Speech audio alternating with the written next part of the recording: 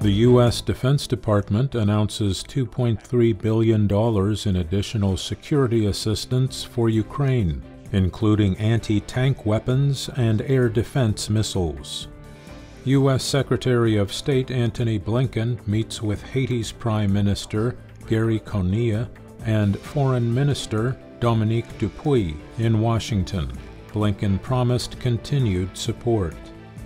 In Kazakhstan, Russian President Vladimir Putin praises China Russia relations while meeting with Chinese President Xi Jinping at the Shanghai Cooperation Organization meeting in Astana.